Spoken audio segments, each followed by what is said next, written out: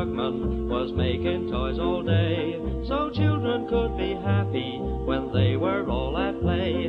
One night when all was quiet, his daily work was done. In the shadows deep he fell fast asleep as the toys woke one by one. Though it's just in dreams, still to him it seems that his toys have come to life. There's a bugler boy blowing notes of joy and a toy that blows a fife. Hear the big bass drum going rum tum tum to the sound